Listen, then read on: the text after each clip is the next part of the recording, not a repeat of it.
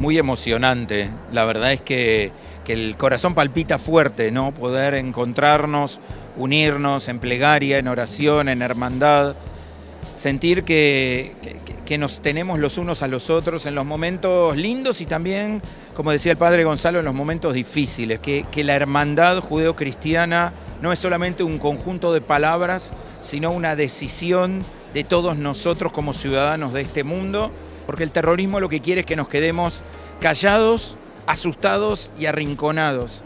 Y cuando la humanidad dice, no, no, no es así, es con oración, con unión y con fuerza, es un mensaje inequívoco de que un mundo mejor es posible. Y nosotros hoy hemos mostrado aquí en Montevideo que nuestra voz es inequívoca, que no hay lugar en este mundo para los que no se preocupan ni un poquito por el prójimo y que no les importa lo que le pase al otro. ¿no? Son momentos en los que los seres humanos debemos ser llamados a hermanarnos más que nunca.